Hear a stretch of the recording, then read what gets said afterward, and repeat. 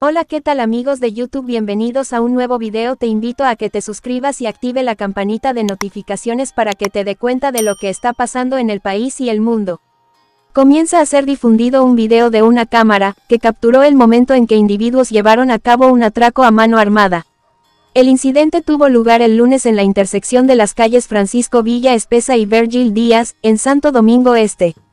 Las imágenes muestran el accionar de los delincuentes, quienes abordaron al menos a dos personas que se encontraban en las afueras de lo que parece ser un establecimiento comercial. Se espera que las autoridades competentes investiguen este incidente para identificar y llevar ante la justicia a los responsables de este acto delictivo.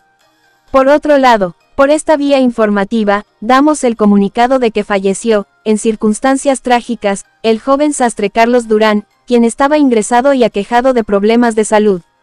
Acorde con lo que señaló una fuente, el joven en cuestión expiró presuntamente por complicaciones de salud relacionadas con el dengue. En estos momentos difíciles, enviamos nuestras condolencias a sus seres queridos, deseándoles consuelo y paz en este momento de pérdida. Dios lo tenga en su santa gloria, en cuanto, sorprendente noticia ha circulado en muchos medios, han aparecido fotografías de Ashley Mariel Sánchez, la novia del famoso artista de música urbana, Dylan Baby. Esto llamó la atención de todos y ella admitió que estaba embarazada y decidió no continuar con el embarazo.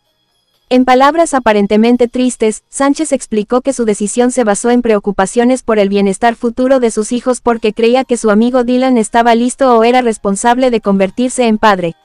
La joven también reveló conflictos en la relación, como la presencia de otras mujeres en la vida de Dylan, lo que creó un ambiente difícil e incierto que pasa.